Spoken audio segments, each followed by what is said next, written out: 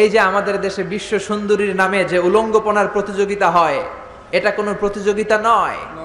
একটা মেয়ের ব্রেস্টের ওজন কতটুকু সাইজ কতটুকু, তার হিপ কতটুকু, তার পাছা কতটুকু, তার দেহের ওজন কতটুকু, সে স্লিম কিনা, এগুলো দেখে দেখে জাজরা জাজ করে। এই দেশে একজন মুফাসসিরে কোরআন ছিল, যার একটা হুঙ্কারে বাংলাদেশে বিশ্ব সুন্দরীর প্রতিযোগিতা একটা সময়ে থেমে গিয়েছিল, চিল্লায় বলেন, ঠিক কিনা? ওই মুফাসসিরে কোরআন এখন নাই, এখন আবার শয়তানের শয়তানি আছে না নাই? এদেশে আজাব গজব আগে ছিল না। আগে সুন্দর একটা বাংলাদেশ ছিল। কিন্তু এই যখনই আমরা বিশ্ব সুন্দরীর প্রতিযোগিতা শুরু করেছি, যখনই আমরা বেহায়াপনা শুরু করেছি, যখনই আমরা মদ খাওয়াকে রাষ্ট্রীয়ভাবে লিগালাইজ করেছি, নিষিদ্ধ পল্লীগুলোকে আমরা বৈধতা দিতে শুরু করেছি ঠিক ঠিক তখনই বাংলার জামিনে বন্যা, ভূমিকম্প আজাব আর গজব নামতে শুরু করেছে। গত দুই সপ্তাহ আগে একটা বন্যা হয়েছে না? আমি তখন মালয়েশিয়াতে। আমি আসছি আঠাশ তারিখ। আমি মালয়েশিয়াতে থাকা অবস্থায় শুনেছি যে বাংলাদেশে নাকি তিন দিন হেভি রেইনফল হয়েছে হেভি রেইনফল তিন দিন নাকি লাগাতার বৃষ্টি। আর এই তিন দিনের বৃষ্টিতেই নাকি পুরা বাংলাদেশে বন্যা। ক্যান ইউ ইমাজিন এই বন্যাটা যদি, এই বৃষ্টিটা যদি তিন দিন না হয়ে ছয় দিন হতো?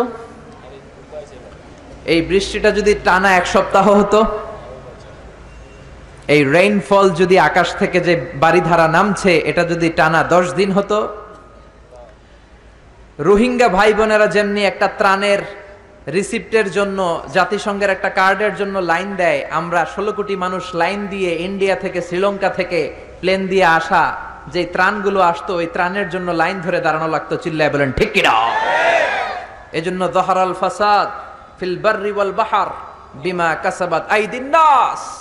জলে স্থলে ভূমিকম্প, টর্নেডো, সাইক্লোন, নার্গিস, মহাসেন, ঘূর্ণিঝড় নাডা, এই সবগুলো আমাদের হাতের কামাই। এজন্য বিশ্ব সুন্দরী প্রতিযোগিতায় বাংলার জামিনে হতে দেয়া যাবে না, চিল্লায় বলেন, ঠিক কিনা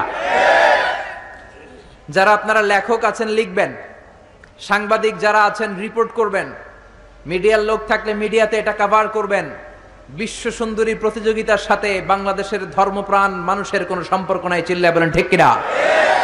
এই দেশকে আজাব আর গজব থেকে বাঁচাতে হলে এই বেহায়াপনা আমাদের বন্ধ করতে হবে। আজাব আর গজব থেকে বাঁচাতে হলে ইন্ডিয়ান এ অপসংস্কৃতির করাল গ্রাস থেকে আমার দেশের কোমলমতি ছেলে মেয়েদেরকে হেফাজত করতে হবে। মসজিদমুখী হতে হবে। তাফসির মাহফিল মুখী হতে হবে। আল্লাহ আমাদের সবাইকে কথাগুলো বুঝে আরও আমল করার তৌফিক দান করুক, পড়েন, আমিন। আরও জোরে পড়েন, আমিন।